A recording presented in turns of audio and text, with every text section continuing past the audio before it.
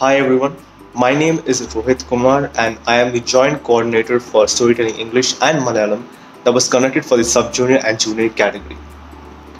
We had more than 200 participants who took part in storytelling and every video that was submitted to us were of high quality and the judges had tough time.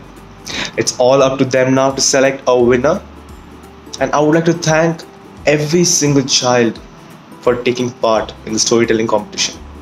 Thank you so much for your participation and all the best. World Malayali കൗൺസിലിന്റെ ഈ ഒരു വലിയ ശക്തമായ ചുവടുവെപ്പിന് എന്റെ എല്ലാവിധ ആശംസകളും നേരുന്നു കാരണം ലോകത്തിലെ തന്നെ ഏറ്റവും വലിയ ഓൺലൈൻ ഫാമിലി കോൺടെസ്റ്റായി ഓൺഫെസ്റ്റ് മാറിയിരിക്കുന്നു ഓൺഫെസ്റ്റിന്റെ ഒരു ഭാഗമാവാൻ കഴിഞ്ഞതിൽ ഞാൻ അഭിമാനിക്കുന്നു ഒപ്പം ഒന്നിലധികം ഇവന്റുകളുടെ ജഡ്ജായിരുന്നു ഒരുപാട് ക്വാളിറ്റിയുള്ള മത്സരാർത്ഥികളാണ് ഇതിൽ മുഴുവൻ പങ്കെടുത്തത്. അതുകൊണ്ട് തന്നെ ഒരു വിധികർത്താവെന്ന നിലയിൽ ഒരുപാട് ബുദ്ധിമുട്ടിയിട്ടാണ് ഓരോ ഇവന്റിന്റെയും വിജയികളെ ഞാൻ തിരഞ്ഞെടുത്തത്. മലയാളം സ്റ്റോറി ടെല്ലിങ്ങിന്റെ വിജയികളെയാണ് ഇവിടെ അനൗൺസ് ചെയ്യുന്നത്. മലയാളം സ്റ്റോറി ടെല്ലിങ്ങിന്റെ വിജയികൾ ഇവരാണ്.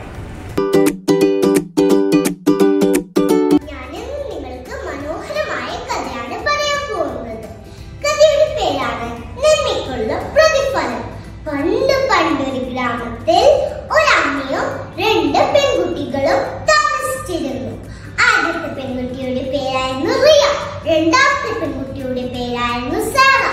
ധാരാളം പണമുള്ളവർക്ക് ഒരു ബുദ്ധിമുട്ടും ഇല്ലായിരുന്നു വീട്ടിൽ. പക്ഷേ റിയ ഭയങ്കര അഹങ്കാരിയായിരുന്നു. അമ്മ പറഞ്ഞത് ഒന്നും കേട്ടില്ല. പക്ഷേ സേന ഭയങ്കര സൽസ്വഭാവിയായിരുന്നു ഒരു ദിവസം ഒരു വൃത്തനായ ഉപ്പൻ അങ്ങോട്ട് വന്നു. കൂരി ചുരിയണ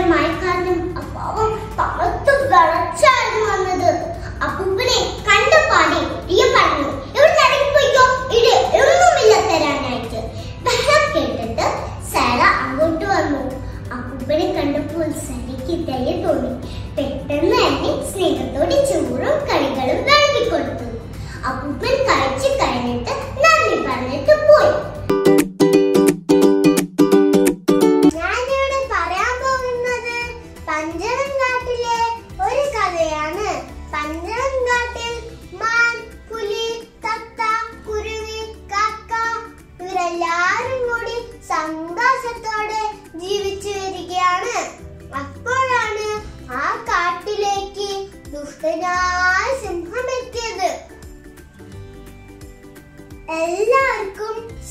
സിംഹത്തെ പേടിയായിരുന്നു.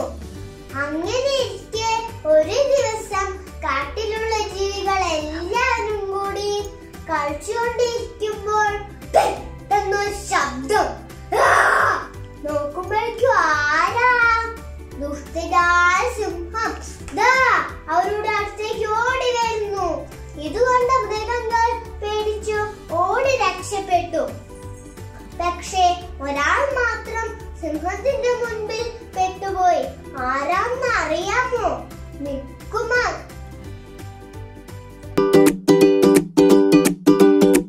എല്ലാവർക്കും നമസ്കാരം. ഞാൻ ഇന്ന് പറയാൻ പോകുന്നത് ഒരു കൊച്ചു കഥയാണ്. എല്ലാവർക്കും അറിയുന്ന ഒരു കഥയായിരിക്കും. എന്റെ കഥയുടെ പേരാണ് മണ്ണാങ്കട്ടയും കരിയിലയും ഒരിക്കൽ കരിയില കാറ്റത്ത് പാറി നടക്കുമ്പോൾ കരിയിലേക്ക് ഒരു കൂട്ടുകാരനെ കിട്ടി. അത് ആരാണെന്നറിയാമോ ഒരു മണ്ണാങ്കട്ട.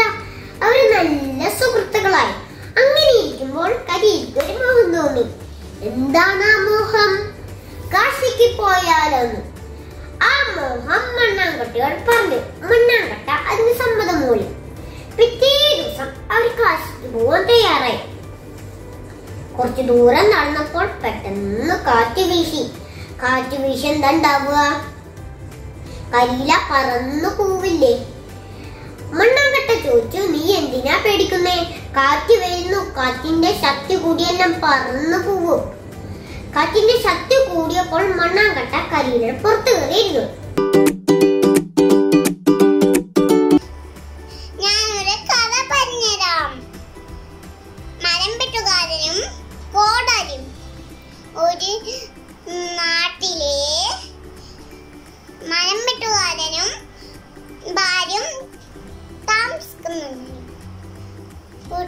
ദിവസം കാട്ടില് പോകുമ്പം മരം വെട്ടാൻ പോകുമ്പം കോടാലി